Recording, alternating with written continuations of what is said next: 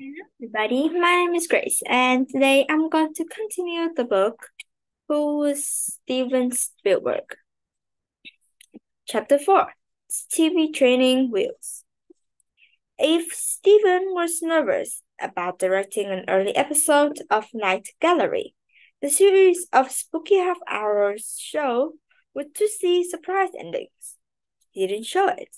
He even working with Joan Crawford a movie star old enough to be his grandmother.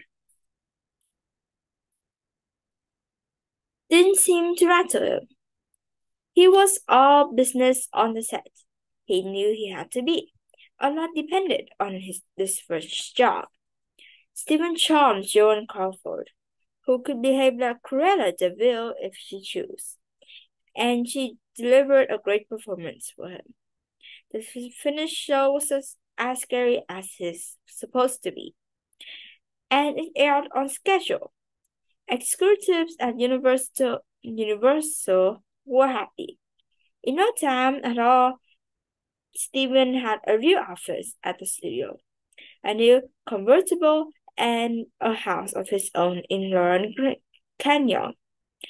The one thing he didn't have was a green light or go ahead to make a full length feature film. Steven directed many TV episodes and a handful of hour long made for TV movies.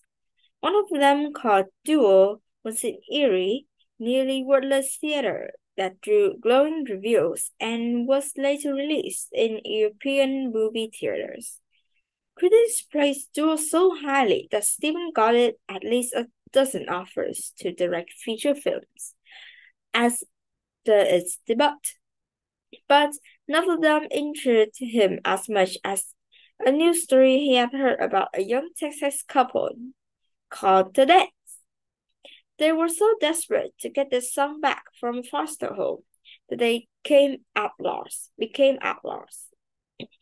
And dozens of police cars chased them from one end of Texas to the other.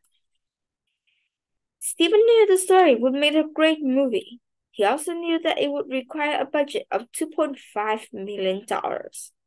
He managed to get Universal to pay for him to write a script about the Dents. But that was all. Meanwhile, Richard Zanuck and David Brown, two talented producers, joined Universal and wrote the script. They wanted to make the film with Steven directing and convinced the head of the studio to give Steven's movie idea of green light. He began shooting the Sugar the Sugarland Express in January 1973. A few weeks after his 26th birthday, Zanuck and Brown were amazed how well the kid handled the shoot. He directed the actors, 50 cars and drivers, and many dangerous stunts like an old pro. Though film critics cri- critics loved the Sugarland Express, audience didn't. And that was very disappointing to Steven. He knew that if his next movie was a success wasn't a success, his career might be over. Chapter 5 Shock Attack on a visit to Brown Zanuck's offices one day in 1973, Steven noticed a copy of an unpublished novel on Zanuck's desk and read it over the weekend, called Jaws. It was about a killer shark that terrorizes a small resort town.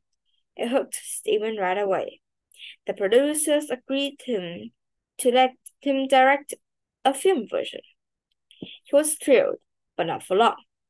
The shoot was plagued with problems from day one. First, there was the location, Martha's Vineyard, a small island in Massachusetts. It's a popular summer resort. In a good weather, its waters are crowded with yachts, boats, water skiers, and swimmers. Steven couldn't show his shark hunters battling with a great white with tourists fishing on a boat boat waving in the background. So almost every day the crew had to wait for the ocean to clear. that took hours and hours of precious daylight. Then the schedule slowed down to a crawl. Then there was the weather. It was stormy. Sailors and tourists kept out of the water. But bad weather made shooting on the ocean difficult, dangerous, and sometimes impossible. That meant more delays. And then there was the shark. The great white had to be huge, so huge and scary that audiences would scream when it appeared. No real great white could be trained for a film, and it was decades of before modern CGI. So a mechanical shark was made, weighing 12 tons. It had cold, staring eyes, big as teeth as big as carving knives, and the body of the shaft the stretched limo. Steve named it Bruce, after his lawyer. During the very first camera test, Bruce broke apart and sank straight into the ocean floor. He had to be towed away for three weeks, worth of repairs, disasters for film schedule and budget. Because so much was going wrong, the crew started the movie calling the movie flaws. The actors wanted to quit. There were rumblings at Universal about shutting down the movie. Sidney Sheinberg, who who by then was president of Universal, promised Steven his full support. Steven vowed to finish the film, and he did. But even it was edited and set to music, he worried that Jaws would flop. I was out of my mind with fear, he said later.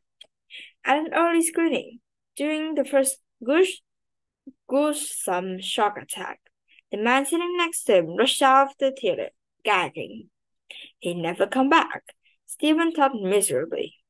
A few minutes later, the man did come back. He raced to his seat as if he couldn't stand to miss another second of the movie, after even throwing up. At that moment, Steve knew that Jaws would be a hit. It was when it was released in the summer of 1975 critics were divided about Jaws. It was not about Bruce, he was one terrifying shark. And suddenly, everybody wanted to see him. So, Universal tried something new. Instead of sending copies of the movie to a few theaters, which is what the studio usually did when the movie opened, Universal sent it to hundreds of theaters across the country so everybody could see Bruce. The experiment worked. Jaws was a spectacular hit, the first ever summer blockbuster, earning with a whooping $260 million. And it also became the top grossing film in history. Already planning for another film, Steven knew one thing for sure. My next picture, my next picture will be made on dry land, he said there won't even be a bathroom scene. So that's all for today, and I will see you next time. Bye!